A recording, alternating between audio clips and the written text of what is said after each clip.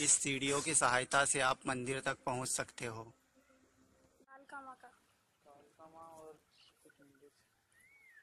अभी हम आए हैं चेलावाड़ा जो कि गुजरात के अंतर्गत आता है। पावागढ़ से यहाँ तक पहुँचने के लिए आपको लगभग 17 किलोमीटर की दूरी तय करनी पड़ेगी।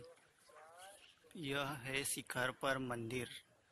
यहाँ से मैं आपको यहाँ का दृश्य दिखा देता हूँ।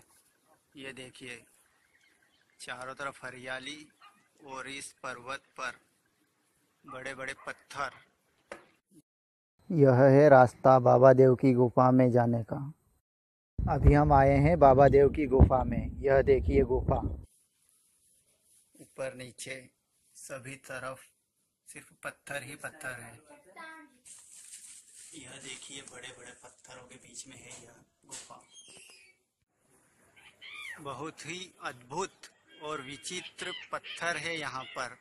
यह देखिए आप लोग बड़े बड़े ऊँचे नीचे पत्थर। यहाँ पर भी एक गुफा है। यहाँ पर इन मिट्टी के घोड़ों में श्रद्धालु अपनी चिट्ठी बांधकर मन्नत लिखकर जाते हैं। और पूर्ण होने के बाद उस घोड़े को ढूंढकर अपनी मन्नत पूर्ण करते हैं। मन्नत पूर्ण होने के पश्चात इन घोड़ों को निकाला जाता है। फिर चिट्ठी में लिखी मन्नत के अनुसार यहाँ पर श्रद्धालु चढ़ावा चढ़ाते हैं।